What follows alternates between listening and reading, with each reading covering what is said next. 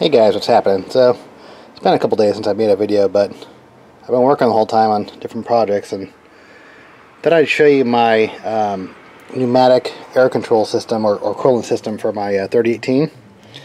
Uh, this is an MKS DLC 2.0. Um, and yeah, actually, one of the issues with the uh, board that came with this 3018 printer is it doesn't actually have an A3 pin. And you need an A3 pin to be able to control coolant. So the A3 pin is, I can't see, but it's somewhere like right here, somewhere in here. But like I said, the A3 pin is actually what you control coolant with. It's M8, M9, uh, the GRBL command to enable it. So this is actually like about a $10 pneumatic air control valve I got on Amazon. Put a link down below. And I also designed this thing that's going to go on the back of this printer. I mean, not printer, but the uh, CNC. so it's going to hold a coolant bottle and this pneumatic control there. I put that there so it wouldn't spin, it would hold it tight. Um, so I'm to get this going, I'm to give it a test, and uh, you're to need to have a MOSFET um, because the A3 pin can only put out, you know, like like 20 milliwatt, or not 20, uh, 20 uh, milliamp.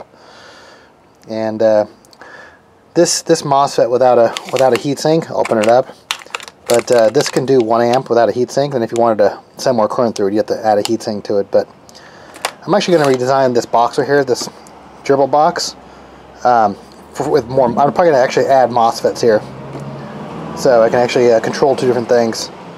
Um, yeah, if you saw this right here, this is my front containment system. Um, I have another video coming up about that. I got to finish it up. You know, lights on it, and I already did this before my chip catcher. So I'm designing a whole containment system for that thing. But that's coming in an upcoming video. Alright, so let's get this going. Let's get the uh, pneumatic air control valve and coolant system going. Alright, have it connected to the board, A3 pin. And on the right side is the ground pin. On the left side is the actual control pin. So I have one side going to the ground, one side to the signal.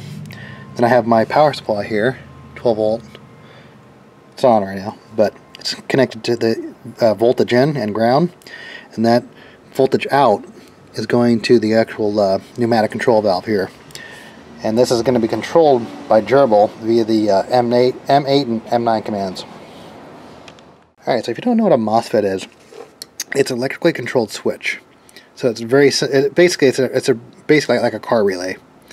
And um, but the difference is there's no moving parts internally. It's all done through this transistor right here.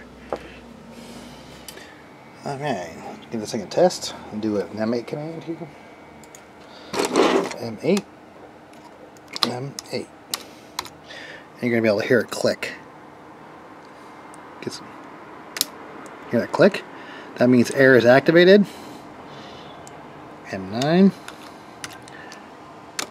Air is deactivated. So yeah, because on some of these things I probably won't, have, won't want to have air.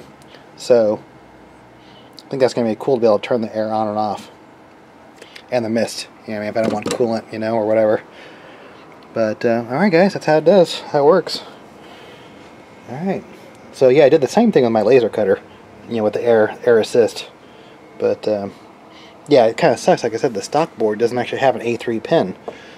So you can't even control coolant with the, I think it's called a, what's it called, Woodpecker 3.4 board.